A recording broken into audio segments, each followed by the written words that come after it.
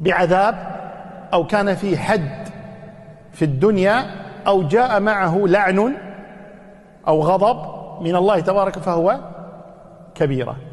لما نأتي لحلق اللحية فنجد أوامر من النبي صلى الله عليه وسلم أنه أمر بإعفائها أمر بتركها صلى الله عليه وسلم لكن لا نجد أنه قال بلعنة من حلق اللحية أو غضب الله عليه ولا بطرده من الرحمة ولا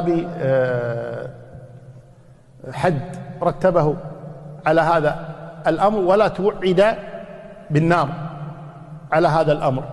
فالصحيح أنها محرمة ولا يجوز ونقل الإجماع على تحريم حلقها ابن القاسم وابن حزم وابن تيمية وغيرهم.